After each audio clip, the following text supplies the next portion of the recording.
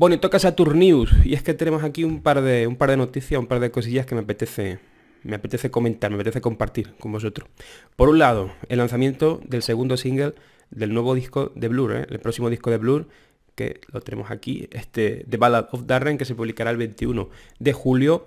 Ya conocíamos The Narcissist, que fue, que fue el, primer, el primer single, y ahora tenemos esta Seychelles Square, segundo single de disco, una onda muy, muy, muy diferente al primero, que nos da una visión más amplia de lo que vamos a encontrar en el disco.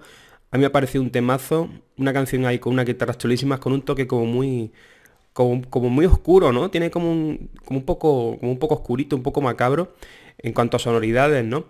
Pero que, me encanta. De hecho, mira, me acabo de fijar que de hecho la portada va muy acorde, o sea, la portada, la, imagen, ¿no? De, promocional del single va muy con, el sonido de la canción, ¿no? Con esa mano que aparece ahí debajo intentando, intentando agarrarte, ¿no? Intentando meterte ahí al hoyo.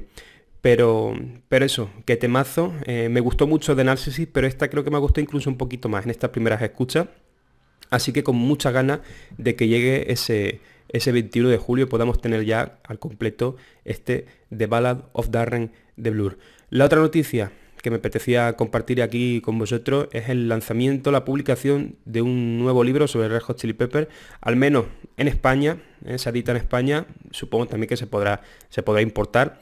Eh, Red Hot Chili Pepper, publicado por Manon Tropo, la editorial Manon Tropo, que fue también la que, la que publicó el, lo tengo aquí, la que publicó el, el cómic, ¿os acordáis? El cómic de Red Hot Chili Pepper, Manon Tropo. De hecho, eh, Borja Figuerola, que aparece ahí su nombre a la izquierda, a la derecha es Carlos Córdoba, Borja Figueroa supongo que es el guionista y Carlos el dibujante. ¿Por qué?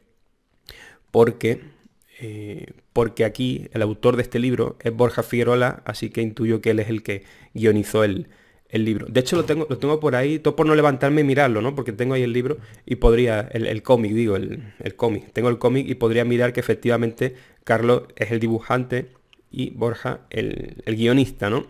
Pero bueno, que se da por hecho, se da por hecho. Luego lo compruebo igual, luego lo compruebo.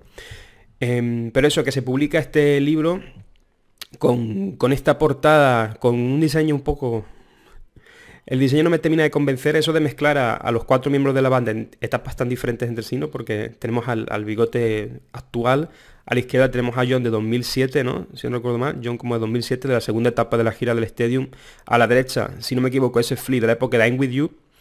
Y lo de arriba es Chad que parece como de, alguna actuación en televisión o de algún de algún alguna aparición en algún canal de YouTube, ¿no? Cuando salí tocando la batería y eso. Pero bueno, son cuatro, cuatro fotografías de cuatro etapas diferentes. En la contraportada el diseño sí que mejora porque tenemos esta foto tan chula de, la época del estadio en estas sesiones de fotos, ¿no? Con los cascos y eso siempre me, siempre me gustó mucho. Y bueno, aquí podemos encontrar, aquí podemos encontrar de qué va el libro, ¿no? Aquí podemos ver que pone déjate arrollar por la pisonadora del fan rock. A principios de los años 80, cuatro adolescentes de Fairfax High School, Los Ángeles, subían al escenario. Bueno, aquí cuento un poquito eso. Y lo, interesante es lo que, lo que pone abajo, que son los, digamos, las secciones del libro, no intuyo. No creo que sean los capítulos, supongo que dentro de cada sección habrá capítulos, pero bueno, ahí pone. Punto número uno, Hitler Slovak, un corazón que se detiene por una sobredosis. Punto 2, el segundo puntito, Californication, una obra maestra escrita por Anthony Kiddie. Dave Navarro, el hombre que cambió el sonido, está un poco como primero Cali, luego Din Navarro. Bueno, parece que no va, no es que haga un repaso al parecer, ¿no? Por lo que intuyo aquí no hace un repaso de la trayectoria de la banda por orden, sino que toca como diferentes aspectos. Primero la, etapa más temprana con Gilles Slovak, luego da un salto a Californication y luego vuelven atrás con, con Navarro. Quizás tiene algún sentido dentro de la narrativa del, libro eso. El hombre que cambió el sonido de los Chili Peppers, luego John Frusciante, el músico que regresó de entre los muertos. Y luego 10 canciones imprescindibles, hay como un top 10 de canciones y la historia que hay detrás. Y finalmente discografía y filmografía básica, ¿no? Un repaso a sus discos, un repaso a su, a sus videoclips, ¿no? En fin, aquí está el lanzamiento de este, de este libro y, bueno, de la misma editorial ¿eh? que, el, que, lo de los Pepper.